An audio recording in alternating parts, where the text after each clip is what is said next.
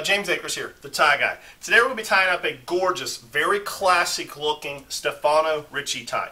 If you've watched my channel before, you hear me talk about the classic ties, the quintessential ties. They're the ones with the diagonal stripes. And this uh, Stefano Ricci definitely doesn't disappoint.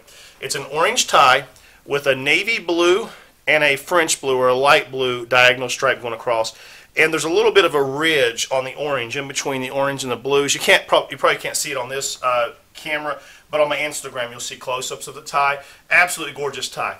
When it comes to quality, uh, I don't think you can beat Stefano Ricci. I mean, it's definitely in the high end of price. It's also the high end of quality. Um, you know, price-wise, these are going to be similar to like a Kiton. Uh, however, no offense towards Kiton because they make a wonderful product, but I give honest reviews. The Stefano Ricci ties actually feel a little bit better. They just feel like they're made better. Um, you know, this is a very thick tie. It's plush, and it's super, uh, super soft. The the silk is just malleable. Uh, uh just a phenomenal product. Now, I still love Kiton. Don't get me wrong. I'm not I'm not against Kiton at all. They make phenomenal product as well. But I just don't know that I felt a better tie ever than Stefano, the Stefano Ricci's I already have and this brand new one I just got in. Let's tie it up and see how it comes together.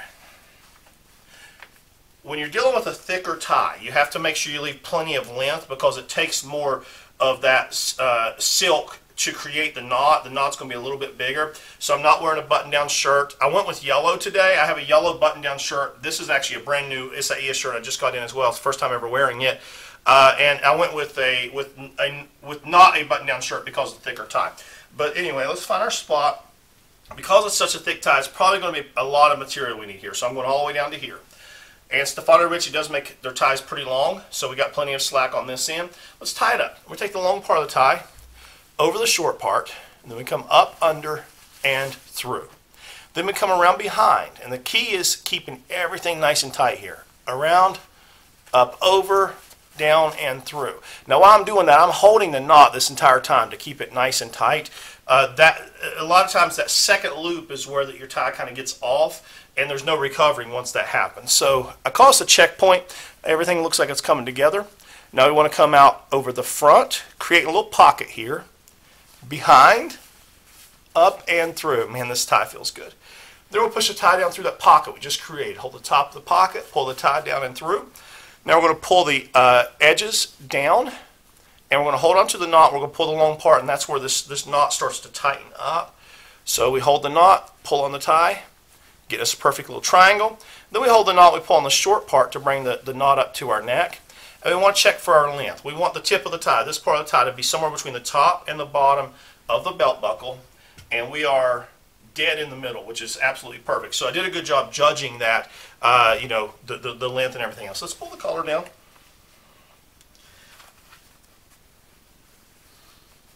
It's a brand new shirt. I always have my new shirts dry cleaned before I wear them, and they put some extra starch on this collar, and it's a little stiff there. So anyway, um, let's tidy it all up. We we want we don't want any gap right here, so we're going to take and just um, manipulate the tie till we get it where we want it. We want it to be right in the middle of the color. Now this is create a little bit of a dimple here, which I'm absolutely cool with. Uh, some people prefer the dimple. To me, I could take it or leave it. The most important thing to me is that the knot is perfect. And as you can tell, that knot is absolutely perfect. So um, let me uh, tuck the back into the keeper. Again, Stefano Ricci does a good job making a long enough tie um, where that you can pull this through. If you look at the slack, even though we've got us a perfect, I have a 16 and a half inch neck, so it's not a really small neck. But uh, even though I tied a perfect double Windsor or full Windsor knot, look at all the slack I have on the back side of this tie. You know, I, I really appreciate when manufacturers do that. Now, the look is going to start scrolling across the bottom of your screen. I'm going through it with you right now. Today we're wearing a blue suit by Ermenegildo Zegna, um, you know, otherwise known as just as Zegna. It's a gorgeous blue suit. It's a really nice uh, brighter blue. It's not a navy. I do have a couple Zegna navy suits as well but I just feel like this color pops better with this tie. We're wearing a yellow shirt by Isaia. We're wearing a gorgeous orange and blue striped Stefano Ricci uh, tie. Uh, all of this is Italian. The uh, the suit, the uh, the shirt, the tie are all Italian. But I'm wearing a French belt. I went with Hermes today. Uh, it's a uh, orangish brown uh, belt. I thought it would really look good with uh, with this tie. And we're wearing a pair of Salvatore Ferragamo uh, light brown Oxfords. Now, on my Instagram, which is Tie Guy James Akers, you'll see close-ups of the knot, uh, selfies of me wearing the outfit, close-ups of the belt, the shoes, the tie, um, the whole outfit staged before I put it on, as well as some pictures of me with the outfit on. So check out my Instagram. Uh, if you like my videos, please click uh, subscribe and like. Guys, I am ready for work.